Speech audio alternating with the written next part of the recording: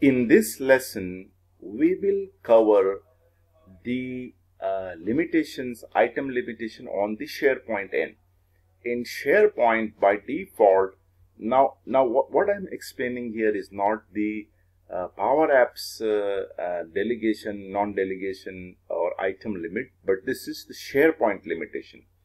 So by default, SharePoint can uh, search uh, in uh, by default in 5000 items.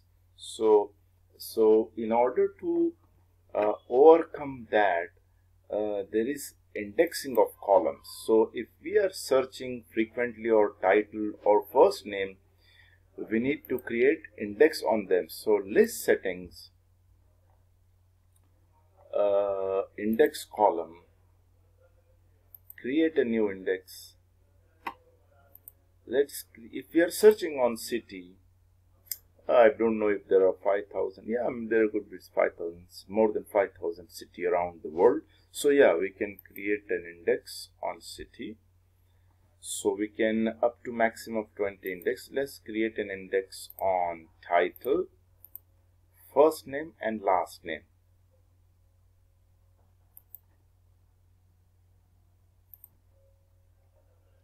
So now you can uh, run your query uh, against this.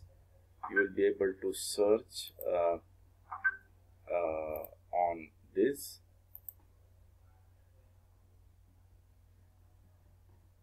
So this is a limitation uh, of the SharePoint. So we are uh, now able to work around it Uh, so this is SharePoint uh, limitation. I just wanted to let you know